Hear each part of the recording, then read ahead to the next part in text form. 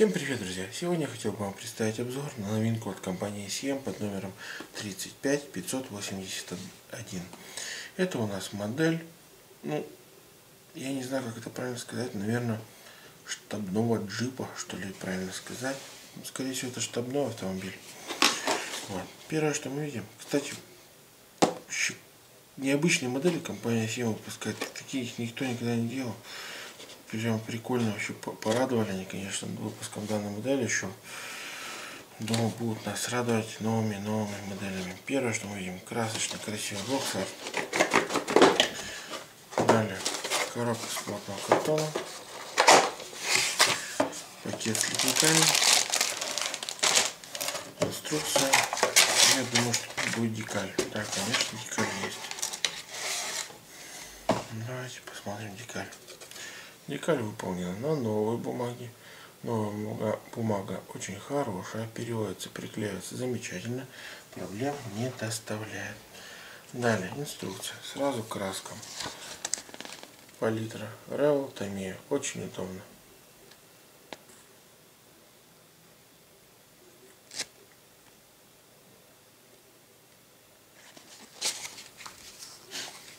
Инструкция выполнена в виде журнала формата А4. Первое, что это у нас технические характеристики. А вот, кстати, правильно, германский, армейский автомобиль Второй мировой войны. Первый у нас на первом развороте это литники, используемые детали.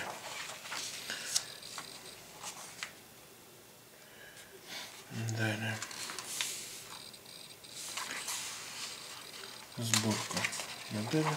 Хотел бы обратить внимание, что Инструкция достаточно подробная. Каждый шаг расписан, показан. Все это видно, все это собирается.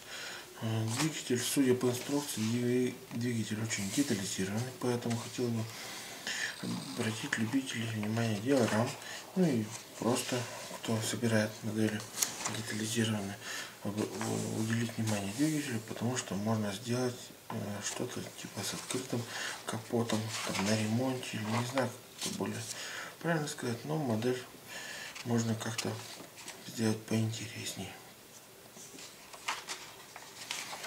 Каждый шаг, все подробно, все видно, что и куда.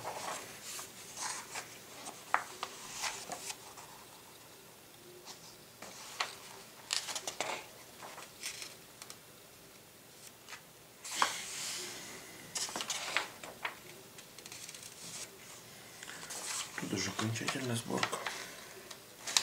До сборка, скажем так. Вот окончательный вид.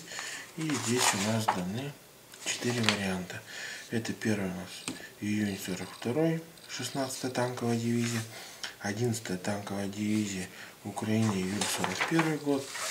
Далее первая танковая группа Украины июль 41 год. И Старый Быхов, Белоруссия, июль 41 год.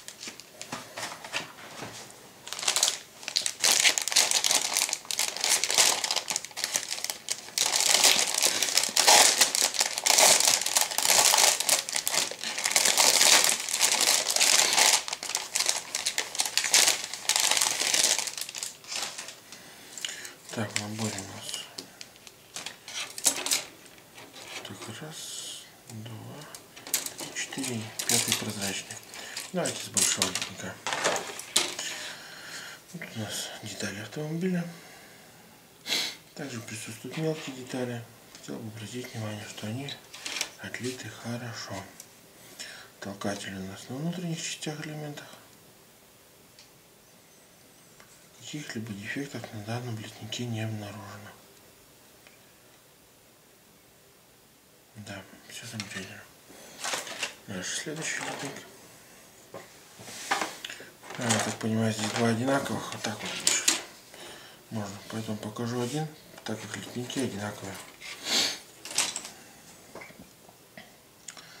Так, большое количество мелких деталей, которые пролиты замечательно. Далее детали ходовой, похожей части. Колеса. Колеса пластиковые. Но это ничуть не плохо, ничуть, потому что пролиты они замечательно, сделано шикарно. Проблем не доставит. Также у нас в наборе есть канистра, вооружение. пролито шикарно все. Толкатель на внутренних частях элементов. Ну, еще один у нас литник. Также большое количество мелких деталей. Так, и видно запасное, скорее всего, колесо. Толкатели на внутренних. Каких-либо дефектов не обнаружено. Следующий литник.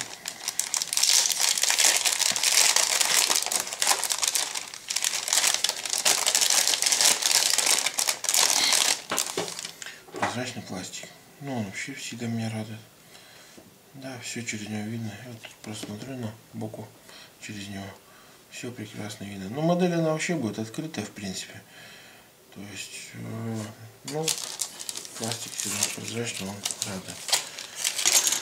На этом я хотел бы завершить обзор данной модели. Если вы любите немецкую технику, то данная модель обязательно должна быть у вас на полке, потому что она вас, я уверен, порадует в сборке, в качестве, и в окончательном, скажем так, ее виде. Всем спасибо, всем пока.